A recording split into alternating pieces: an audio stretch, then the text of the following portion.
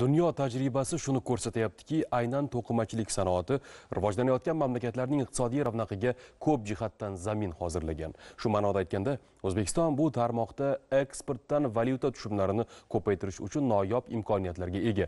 Yuqori sifatli paxta tolamiz ya'ni mustahkam xom ashyo bazamiz bor. Uni qayta ishlash jarayonini chuqurlashtirish ustida doimiy ish olib borilmoqda. To'qimachilik sohasida chet el investorlari uchun qulay sharoitlar yaratilgan. Ushbu jihatlar bilan jahon paxta bozorida yetakchi mavqega ega mamlakatimiz endilikda trikotaj mato gazlama hamda tayyor kiyimlar tayyorlash bo'yicha xalqaro bozorda ham munosib o'rinni egallab boryapti.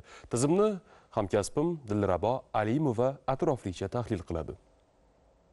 Tarmoqning ahamiyati unda olib borilayotgan islohotlar samarasini chuqurroq anglash uchun raqamlarga murojaat qilamiz. Joriy yilning dastlabki uch oyi misolida tahlil qilsak ham natija salmoqli ekani oydinlashadi. Birinchi chorakda olti yuz qirq sakkizu o'nda bir million dollarlik mahsulot xorijga sotildi. Bu respublika eksportining yigirma to'qqiz foiziga teng. O'tgan yilning shu davrida to'rt yuz ellik ikki million dollarlik mahsulot chet ellik xaridorlarga yetkazilgan bo'lib o'sish sur'ati bir yuz qirq uch o'nda besh million dollarni tashkil etmoqda.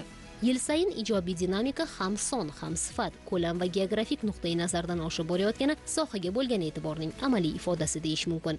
To'qimachilik va tikuv trikotaj sanoati korxonalariga bir qator imtiyozlar va preferensiyalar berish natijasida to'rt yil davomida e, yigirma foiz e, o'sish sur'ati ta'minlanib kelinmoqda.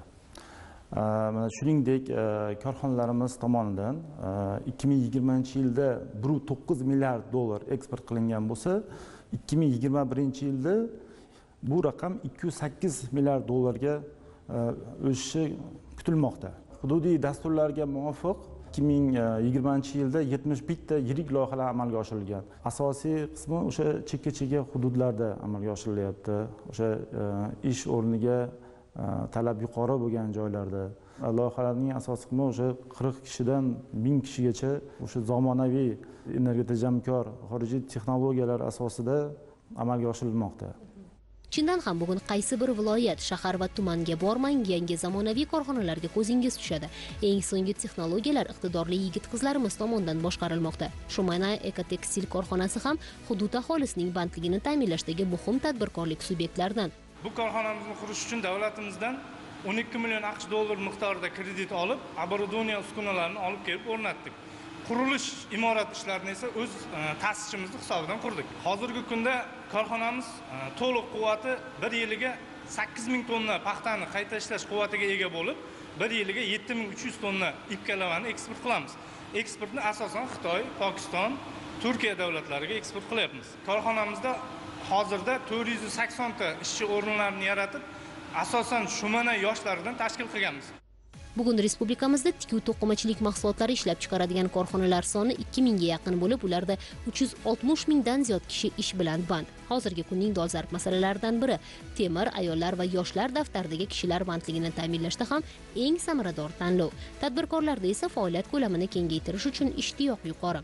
Dinar guruh fabrikamiz joriy yilda tashkil topdi prezidentimiz biz tomonga tadbirkorlarga yaratib berayotgan imkoniyatlardan keng foydalangan holda bu yerda bizga nol qiymatida berdi va bu yerda hozir biz to'rt yuz nafar yoshlarni ish bilan ta'minladik. Ya'ni asosan yoshlar temir daftarga tushgan yoshlarni ish bilan ta'minladik. Mart oyida bir million dollar eksport qildik hozircha.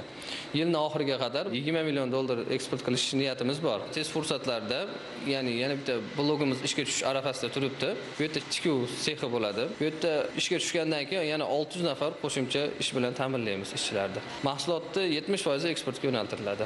Qolgani ichki mahsulot sifatida sotiladi. Yurtimiz ishlab chiqaruvchilari tomonidan tayyorlanayotgan ipka lavayu gazlamalar kiyim kechaklar dunyoning ellik beshdan ortiq mamlakatlarga eksport qilinmoqda. Respublikada ishlab chiqarilgan jami to'qimachilik va tikuv trikotaj mahsulotlari hajmining ellik olti o'nda bir foizi eksportga yo'naltirilgan.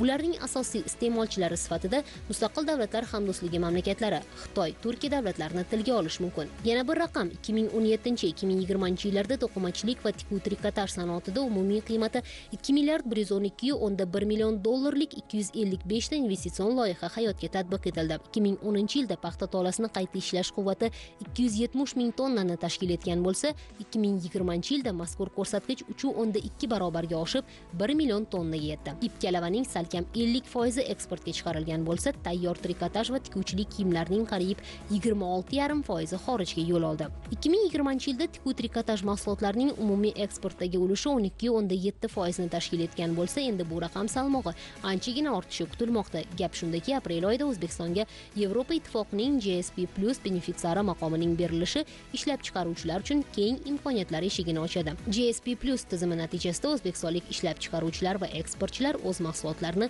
yevropa bozorlariga eksport qilishda bir tomonlama tarif imtiyozlaridan foydalanish imkoniyatiga ega bo'lishadi. Shu bilan birga o'zbekistonlik ishlab chiqaruvchilar yevropa ittifoqi mamlakatlariga eksport qilishlari mumkin bo'lgan tovarlarning soni olti ming ikki yuztaga ko'paydi. U degani yanada qo'shimcha shartnomalar tuziladi. Yevropa bilan hamkorlikda bir loyihalar e, yevropadan e, yirik yirik bir taniqli brendlar orqali buyurtmalar beriladi. Buning uchun to'qimachilik sanoat uyushmasi vakillari hamda xorijiy hamkorlar tomonidan e, xorijiy mutaxassislar bilan hamkorlikda viloyatlarda seminar o'tkazilyapti. Seminarda o'sha e, yirik eksportyor korxonalari va yangi tashkil qilingan korxonalar ishtirok etib u yerda asosiy nimaga e'tibor berish kerak? Mahsulotni sifatini oshirish korxonada ishlab chiqarish tizimini e, yangidan ko'rib chiqish va yangi texnologiyalarni joriy etish va boshqa masalalar shu joyida korxonalarga seminar sifatida o'tkazilyapti. Mutaxassislarning fikricha gsp plusga muvofiq dastlabki bosqichda to'qimachilik mahsulotlarining eksporti hajmi uch yuz million aqsh dollarini tashkil etadi. Keyinchalik ikki ming yigirma beshinchi yilga kelib bir o'nda ikki milliard aqsh dollarigacha o'sishi aytilmoqda. Hozirgacha eksportga yo'naltirilgan bunday tovarlarning atigi oltmish million dollar qiymatdagisi yevropa ittifoqi davlatlariga to'g'ri kelgan. Milliy brendimiz ostidagi kiyim kechaklar kalava iplar va boshqa tikuv trikotaj mahsulotlari endilikda xorijlik ishlab chiqaruvchilar bilan bemalol raqobatlasha oladi.